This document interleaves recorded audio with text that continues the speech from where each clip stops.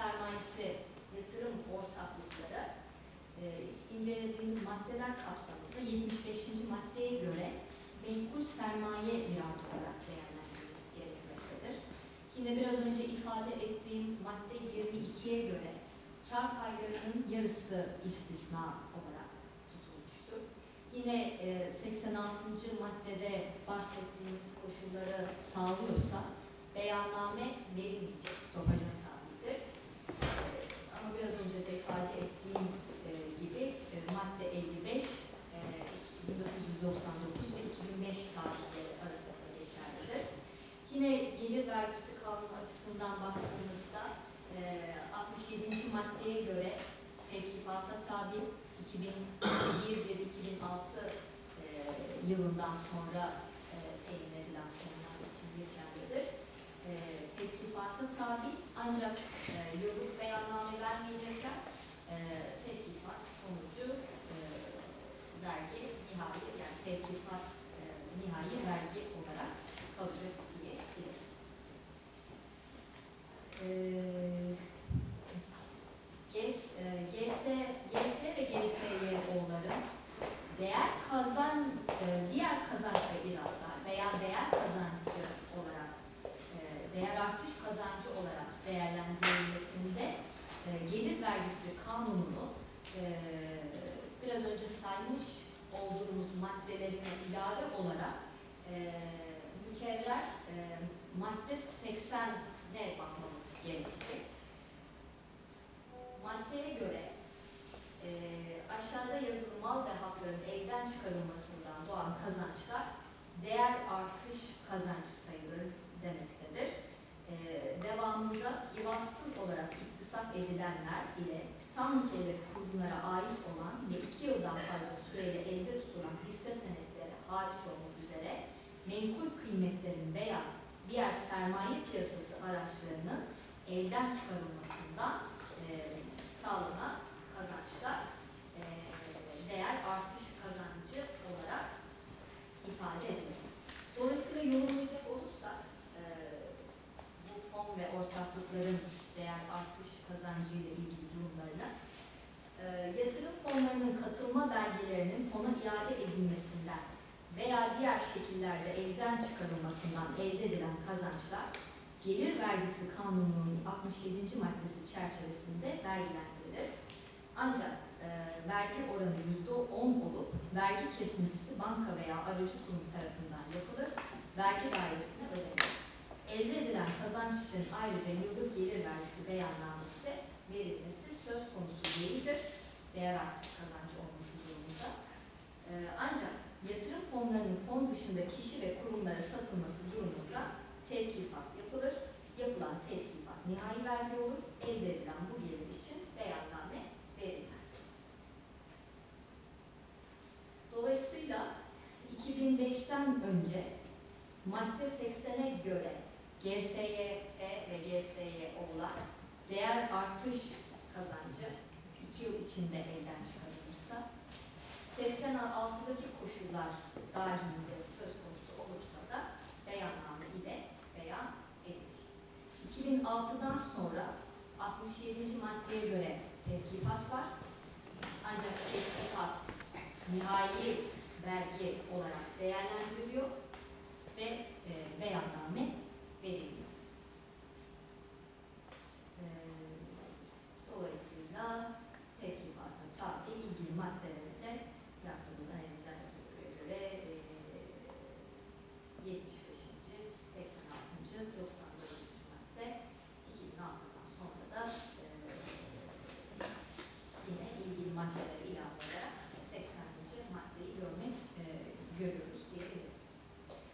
E, son olarak e, kurumlar vergisi ve gelir vergisi dışında e, GSYF ve GSYO'larla ilgili e, ne tür düzenlemeler yapılmış?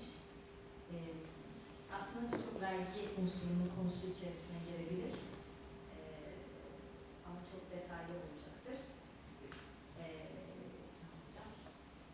E, banka sigortacılık muameleleri vergisi karşısındaki durumu, katma değer vergisi karşısındaki durumu ve 2012 tarihinde vergi usul kanununa e, da yer alması, ayrı bir maddede yer alması ile e, vergi usul kanunundaki gelişim sermayesi. E, banka sigortacılık muameleleri vergisi e, ile ilgili e, bu ortaklık ve yatırımların değerlendirilebilmesi için e, gider vergileri kanununa bakmamız gerekecek. Menkul kıymet alım satımı mutlak meslek haline getiren ve bu faaliyetlere dolayısıyla lehlerine para kalan kurum olarak kabul edilmemektedir. E, kanun maddesine göre. E, dolayısıyla e, burada kastedilen aracı kuruluşlardır. Lehe kalan paradan kastedilen de ücret, gibi adlarla sağlanan menfa- menfaatlerdir. Dolayısıyla e, girişim sermayesi yatırım ortaklıklarının portföy işletmeciliği faaliyeti ile bunun sonucunda sağladıkları kazançlar BSMV kapsamı içerisine girmemektedir diye- diyebiliriz. E, katma değer vergisi kanunu içerisine girip girmediği ile ilgili değerlendirmemiz de katma değer vergisine, vergisinin konusunu teşkil eden işlemler başlıklı birinci maddesine bakmak gerekir. Ka- e, Niteliği gelir vergisi e, e, kanunu hükümlerine göre gelir vergisi kanununda açıklık bulunmadığı hallerde Türk Ticaret Kanunu ve diğer ilgili mevzuat hükümlerine göre e, tayin ve tespit edileceği e, hüküme bağlanmıştır. Ne, e, ticari, sanayi, zirai faaliyet ve serbest meslek faaliyeti çerçevesinde yapılan teslim ve hizmetlerin vergiye tabi olacağı.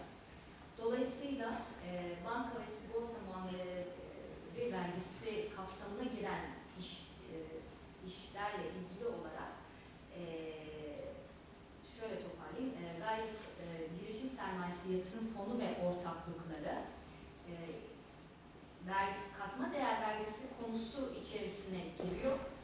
Ancak biraz önce ifade ettiğimiz BSMV kapsamı içerisindeki konulara giriyorsa katma değer vergisi konu, e, içerisinde bir takım istisnalara tabi KDV indirimi söz konusu yap, e, KDV indirimi yapılması gerekiyor. Son olarak girişim sermayesi fonuna baktığımızda e, 325. maddeye A e, bendine konulmuş uzunca bir tanımı olan e, ve bu tanımda şartlarını, e, unsurlarını e, tanımlayan e, bir madde. E, diğer indirimler kısmı içerisinde yer alıyor girişim sermayesi fonu. Tıpkı ARGE indirimi, sponsorluk harcamaları, bağış ve yardımlar, hizmet ihracatı indirimi, korumalı işleri, nakdi sermaye artışından kaynaklanan faiz indirimi gibi kurumlar vergisinden indirim konusu yapılabilen unsurlar içerisine e, 2012 tarihinde vergi usul kanunu girmesiyle birlikte girişim sermayesi fonunda indirim konusu e, yapılmıştır. E, ancak bu indirimin yapılması belirli şartlara bağlıdır. Kanun e, maddesi, ilgili maddesi bu şartları da açıkça ortaya koymuştur. Buna göre ilgili yıl- yılda ayrılan fon tutarının beyan edilen gelirin yüzde onunu aşmaması, e, toplam fon tutarının ise dönem sonundaki öz sermayenin yüzde yirmisini aşmaması gerekmektedir. Burada bir husus daha, e, bu iki şartında yani girişim sermayesi fonu ayrılabilmesi için bu iki şart birlikte e, ger- gerçekleşmesi gerekir. Girişim sermayesi fonu pasifte e, ayrı bir e, hesapta tutulur. Dolayısıyla öz sermayeyi etkilemez. E, ama katılım payı e, GSO veya GSF'lerde katılım payı, payı ile e, alınması durumunda aktif hesapta tutulması gerekir. E, fonun ayrıldığı yılın sonuna kadar Türkiye'de kurulmuş veya kurulacak olan ve SPK düzenleme denet- denetimine tabi girişim sermayesi yatırım ortaklarına veya fonlarına yatırım yapılması gerekir. Kanun ikinci şart olarak da bunu e, koymuştur. E, ve girişim sermayesi fonuyla ilgili olarak da bir takım sınırlamalar getirmiştir. Yine e, biraz önce ifade ettiğimiz vergi usul kanununun ilgili maddesinde. Bu sınırlamalarda amacı dışında herhangi bir surette başka bir hesap nakledilemez, işletmeden çekilemez, ortaklara dağıtılamaz, dar mükelleflere ana merkezine aktarılamaz, e, aktarılamaz diyorum, e, aktarılabilir belki mutlaka süreç içerisinde ama aktarılması durumunda e, bu gelişmiş sermayesi fonundan faydalanamaz anlamında olumsuz bir oluyorum.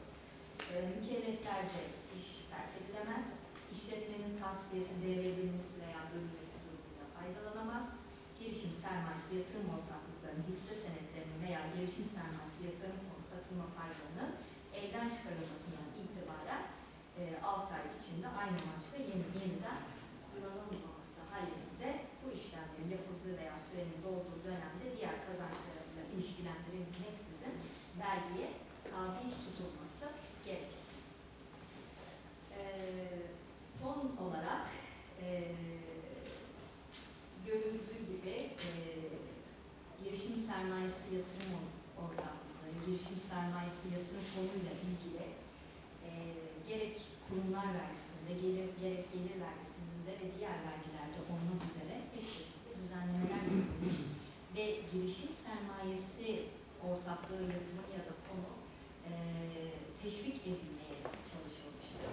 Ama sistemin tabii ki bir takım e, eksiklikleri, e, avantajları ya da dezavantajları ya da kötüye kullanılması vergilendirme meselesinin uygulamada var maalesef. E, örneğin e, katılım paylarının vergilendirilirken e, girişim sermayesi fonunun pasif hesapta e, tutulması bir dezavantaj olarak görüyorum. E, girişim sermayesi fonuyla ilgili yapılan kısıtlamalar, sınırlamalar da e, aslında bu fona yatırımı engelleyeceğini düşünüyorum. Sonuç olarak e, e, sonuç olarak e, vergi alanında girişim sermayesiyle ilgili evet bir takım düzenlemeler var.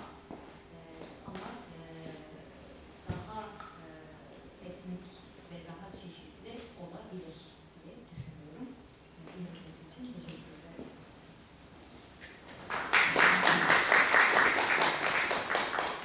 Bize Leyla Hanım'a bu güzel sunumlar için teşekkür ediyoruz. Ee, ben şu hemen sıcağına sıcağına Leyla Hanım'ın ilgini müzakere edebiliriz. Sorusu olanlar varsa e, sorularınızı hemen alabiliriz. Ee, evet, buyurun. Buyurun abi. Bilgisayar versiyonlar bu şekilde ters transport Ee. Bir- Biz isminizi biliyoruz ama isminizi Hakan Ertürk, ve Maliye Bakanlığı. Ee, girişim sermayesi yatırım fonlarının bir yapıda olduğu söyleyebiliriz. Yani e, uluslararası uygulamalarda fonların vergilendirilmemesi diye bir kural var. Bu kural bizde uygulanıyor mu var mı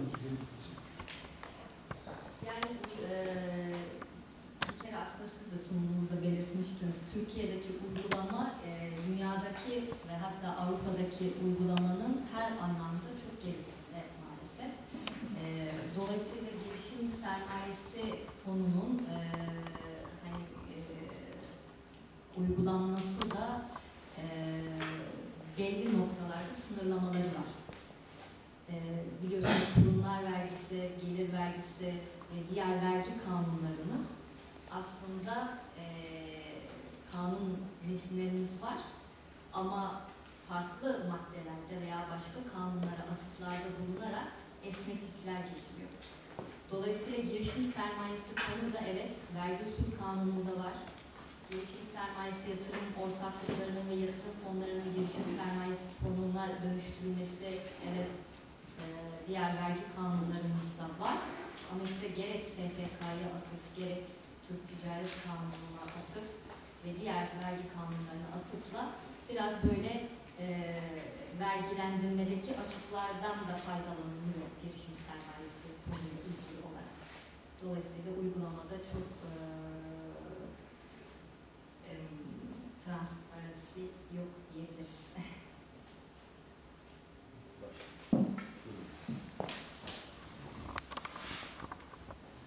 Ceylan ben e,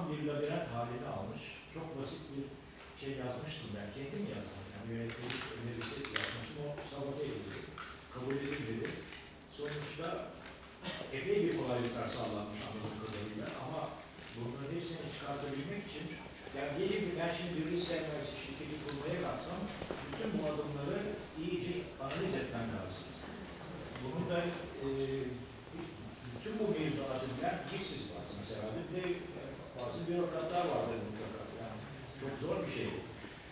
Diyeceğim şu,